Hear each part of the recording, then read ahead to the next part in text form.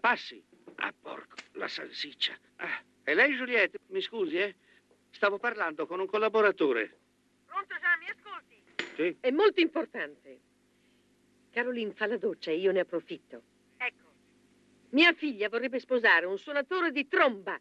Uno strimpellatore? Un negro? No, è bianco. O meglio, è verde.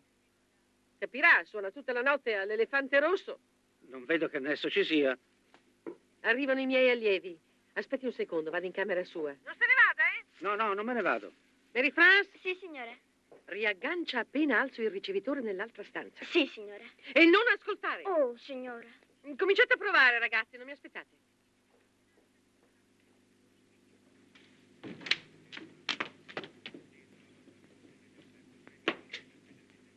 Puoi attaccare, cara.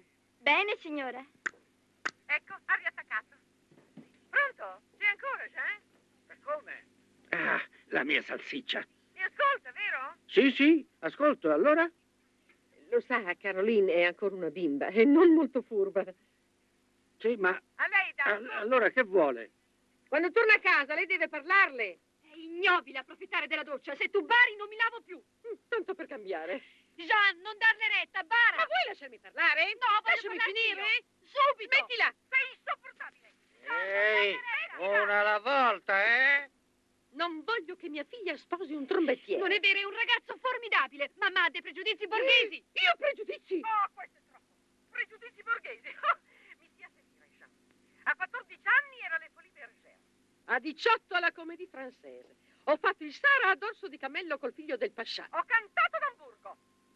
Ho un fior di carriera, le pare? Ma quando mi è servito un marito mi sono sposato un prefetto. E io invece sposerò un trombettiere. Oh, Vieni duro. Siete matti.